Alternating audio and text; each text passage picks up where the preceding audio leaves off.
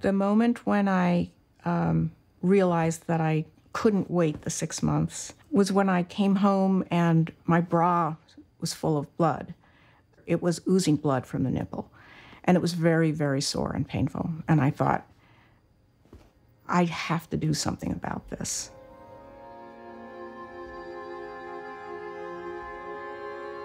The part that I had difficulty accepting was the transition from living person to corpse.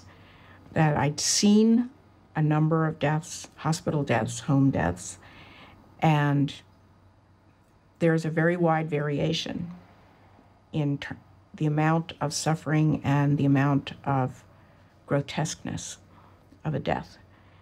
My feeling is that um, myself is a creation of my brain, um, that it's the brain's job to take incoming information and turn it into something uh, functional. I believe that when my brain stops, that self is no longer going to exist. And if there is anything else that exists, it's impersonal and not particularly interesting to me. At this point, I have no family. My sister was my last uh, surviving family member. But I do have friends that go back a long time. And yes, my best friend, um, we met when we were 13 and we're best friends ever thereafter. Um, she understood from the word go. There's a big difference between knowing in general that you're going to die and knowing exactly what you're going to die of and probably when. Uh, she said, I've been through that. And she said, I imagine you're going through that now. She said, it's just much more nuts and bolts, much more real um, when you know what is going to kill you. Um, you you know with a with just more practical certainty that you're not immortal. You always knew that, but now you really know it.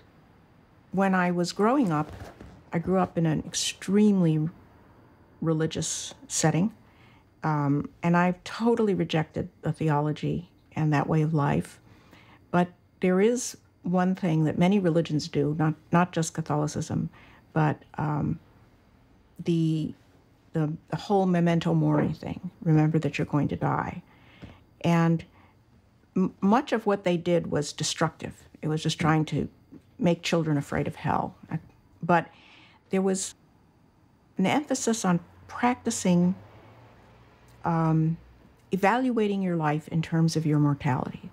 Like if you were in a job and you were trying to think, should I stay with it? I don't really like it. Should I stay with it?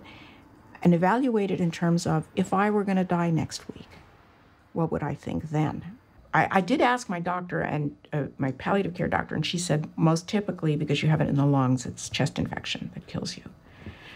Um, but now it's probably spread to the liver too. So um, I guess I I never really dealt with adjusting to the realities of a brutal death. And I was open to using Death with Dignity to buy myself some insurance if I happen to be one of the unlucky ones. Because I think to myself, under that, in that case, I have an escape hatch. There's a way of escaping, say, the last horrible two weeks. Um, so I did apply for it and I did get it and it a friend not a friend but an acquaintance who had had now deceased but has had um, death with dignity she said it keeps you honest because you know you she said she was hurting a lot she would get up in the morning and say oh god this it's not worth living when you feel this sick she said a little voice would say oh really do you want to die today because you can call up the pharmacy and you would have to say, well, all right, I don't want to die today. But if it gets a lot worse, I want to die. And that you just, it helps you to deal with it. It gives you the reality that you can escape this if you want. So be honest is it that bad? If you're going to live, if you live today, that's because you've made a decision to live another day. You might as well make it worthwhile. And I feel that I do that now, that I question the quality of my life. And it's so far, it hasn't come close to time to go. You may have noticed we have beautiful hydrangeas out front.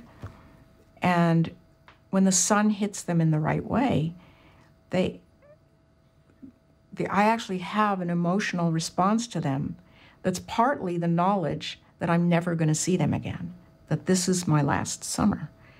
And I could be wrong about that, but I think that's the probability that this is my last summer. And my neighbor and I uh, have roamed the, the gardens in the area, and I've enjoyed them a great deal. I would have to say it's there's more enjoyment and deeper enjoyment, but there's also some sadness at at saying goodbye to things. And on a more prosaic level, going through my clothes and saying, well, I need some new winter sweaters. Oops, no, I don't. Um, no more buying in bulk. That is a little hard to get used to. And oh, no more, I'm going to save that for a special occasion. You know, anything you have, use it up.